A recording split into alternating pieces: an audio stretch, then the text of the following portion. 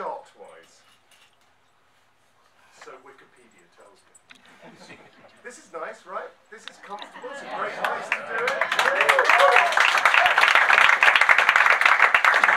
i say thank you again, but it's very nice of uh, Victor and, and Liz to be willing to do this as we pass quickly through town. we did actually have an afternoon off today, which was nice. We went to three of your records.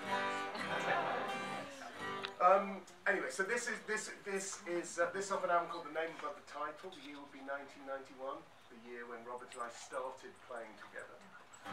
Um, and this one's called The Person You Are.